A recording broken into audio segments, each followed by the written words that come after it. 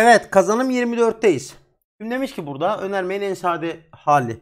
Şimdi burada şuna dikkat edelim. P ancak ve ancak 0 neye denktir? Şimdi P ancak ve ancak 0. Bunu daha önceden vermiştik. P ancak ve ancak 0'ı. P 0 ise sonuç 1, P 1 ise sonuç 0. Yani bu P'nin değiline eşittir. P ile zıt işareti. Çünkü 1 ancak ve ancak e, 0 e, ne olacak? 0 olacak. 0 ancak ve ancak 0 1 olacak. Yani doğruluk değeri P'nin değili olacak. Şurası P'nin değili. Şuradan yazayım bak. P'nin değili. E, P ise P'nin değili bu kesin 0. Burası arada ancak ve ancak var. Sol taraf P'nin değili ancak ve ancak P ise P'nin değili kesin 0'a eşit. Çünkü neden? Birbirinden farklı olduğu zaman 0 oluyordu. P'nin değili ise 0. Şimdi burada şunu düşün. P'nin değili ise 0. P'ye denktir. Nasıl burada şey, P'nin değili ancak ve ancak 0. P ve ancak ve ancak 0 neye eşit? P'nin değiline eşitti. Doğru mu? E P yerine P'nin değili yazarsam P'nin değilinin değili P olacak. Yani P'ye 1 verirsem birisi 1 ancak ve ancak 0. E, 0 olacak. P'ye 0 verirsem 0 ancak ve ancak 0 1 olacak. Yani P'nin değilinde pardon. P'nin değilinin değili P oluyor. O zaman bu önermenin sonucu P oldu. Devam ediyorum. İkinci sorudayım. P ancak ve ancak 1. Bunun değilini alacağım. Şimdi P ancak ve ancak 1 nedir? Normalde P ancak ve ancak 1. P1 olursa sonuç 1. P0 olursa sonuç 0. Burası P'ye bağlı. Ama bunun değili var. Sol taraf P'nin değili. İse 0 ancak ve ancak P'nin değili. Şimdi burada P'nin değili 0 ise sonuç 1.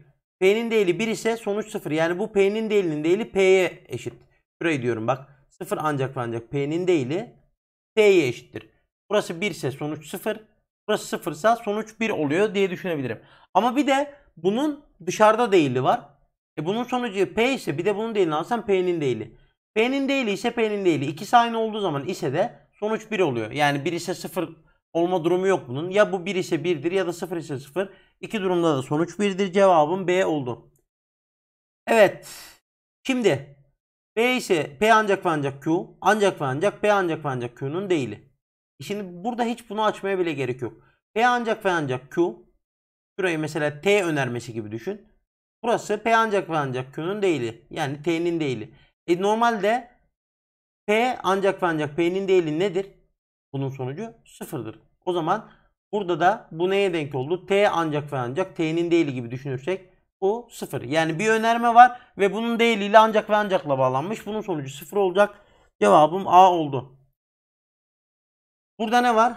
P ancak ve ancak Q'nun değili ancak ve ancak P'nin değili ancak ve ancak Q. Şimdi burada şöyle düşünelim.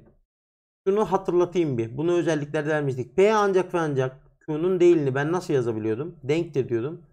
P'nin değili ancak ve ancak Q diye yazabiliyorum. Ya da P ancak ve ancak Q'nun değili diye de yazabiliyorum. Şimdi bak şuraya P'nin değili ancak ve ancak Q yazsam. Şuraya. P ancak ve ancak Q'nun değili demek.